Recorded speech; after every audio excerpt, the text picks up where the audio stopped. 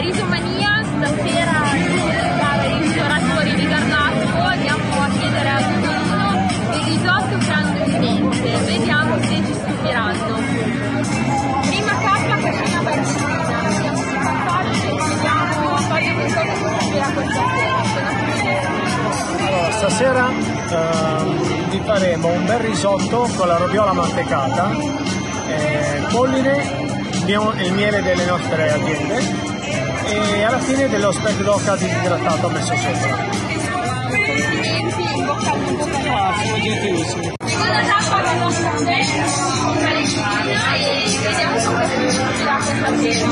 Allora, questa sera facciamo un risotto, inventata da lei, ma è inventata da un panettiere del paese, un vecchio panettiere del paese. Questa ricetta io gliel'ho rubata dal famoso libricino che hanno tutti i vecchi con le ricette e ce l'ho fatta con una base di pasta di salame e altre, altre cose. Però insomma non è una mia creazione, Sono curiosissima di assaggiarlo. Grazie. Grazie. Terza tappa, il. Siamo qui da Franco. Che risotto ci farai stasera? Allora, vi prepara- stasera preparo per la giuria un risotto limone e rosmarino. Eh, abbiamo scelto questo- questa ricetta perché a parte che è un- molto fresco, estivo e va benissimo, stasera che è una serata molto calda. E abbiamo scelto i limoni, i limoni li coltiva la proprietaria, la signora Maria, in Lomellina, ed è una cosa stupenda, un profumo che si sente fino a qua. E niente, per cui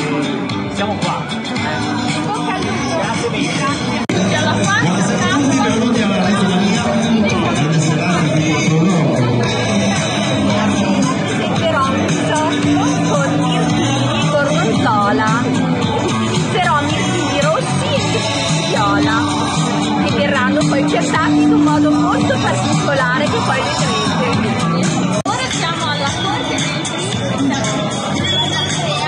Vediamo come risotto questa sera. Io farò un risotto di tradizione lomellino che è quello con i fagiolini del nostro.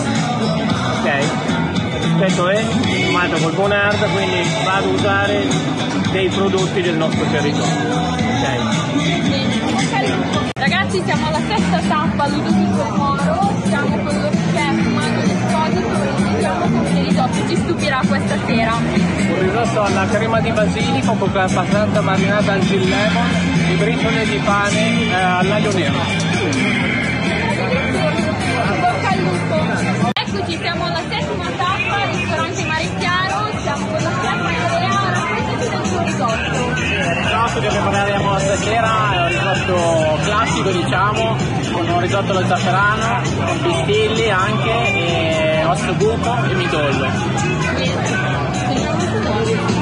In bocca al